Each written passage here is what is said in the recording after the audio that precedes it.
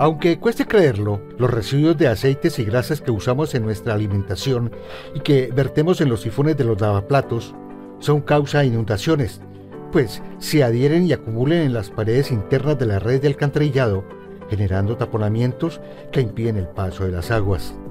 Esto tiene varios impactos negativos. El primero es el taponamiento que genera en los sistemas de alcantarillado, Sabemos que eh, las grasas y los aceites cuando entran en contacto con el agua en las tuberías se solidifican, generan incrustaciones en el diámetro interno de la tubería, reducen los, la capacidad hidráulica. La situación de la grasa en el alcantarillado es tan grave que en Cali debe utilizar gran cantidad de recursos técnicos y financieros para poder removerla.